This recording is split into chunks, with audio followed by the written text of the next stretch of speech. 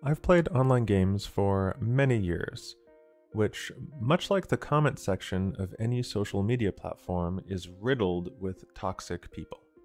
So much so that seeing people just being the worst versions of themselves online is just kind of normal for me. Until recently, I thought that was just how it was. People being assholes is a community problem that the game developers have no control over. But now, I think that's only partially true. More and more, I view toxicity in video games to be more of a design problem.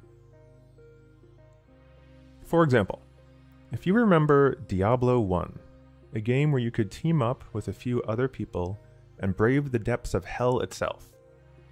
But then, the person who joined your game and took your town portal murders you and leaves the game. While perhaps an interesting idea that could possibly create some memorable PvP moments, more likely this feature caused much more grief and frustration than good game experiences. The game's rules themselves created and sometimes inspired these bad experiences. Let's go with a somewhat more recent example of the Mythic Plus system in WoW. Overall, I had loads of fun in Mythic Plus, but over time, the way it works has created, in my experience, a horrible social environment to play in. For those not familiar with WoW's M Plus system, when a player does a dungeon, they get a keystone, which is then used to begin a timed trial version of a dungeon that upon completion upgrades to a higher, more difficult version that will keep upgrading as you successfully beat the timer.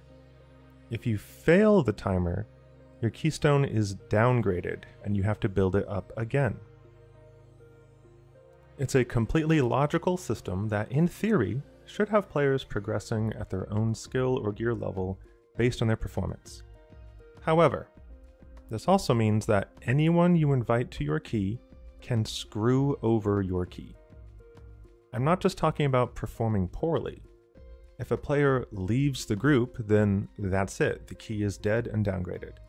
This has created an environment that is obsessed with IO scores, scared to invite off meta specs, and is quick to blame everyone else in their group if anything goes poorly. In other words, a toxic environment that I've lost interest in despite having lots of good memories in Mythic Plus. A design tweak I think that would help would be to get rid of the actual keystone. Instead, when you go into a mythic, you could click on the keystone thingy and just choose what level you want to do. This would mean that a failed key doesn't punish anyone, and everyone can do the content they want to do rather than doing a bunch of keys they don't want to do or feeling like they're risking something every time they pug. You could tweak this idea by only being able to start a plus 15 if you've completed a plus 14 or something like that. But the basic idea, I think, would help decrease toxicity by decreasing punishment and decreasing risk. Another way to decrease toxicity on a design level would be to simply take away opportunities for it. Perhaps a drastic example is in the PvP Crystalline Conflict in Final Fantasy XIV, where you can't chat. You can't even chat to your teammates. Instead, you are given pre made chat commands such as attacking White Mage or fall back and regroup to get people on the same page.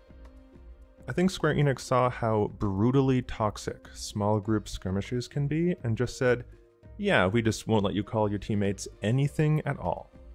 And the result is a pretty chill PvP experience. Now, I'm not saying these are perfect fixes, as I don't think you'll ever get rid of online toxicity completely. And there's definitely need for moderation on top of thick skin. But next time you're wondering why everyone is being such dicks in your games, stand back and look at what rules those games have that create those spaces in the first place.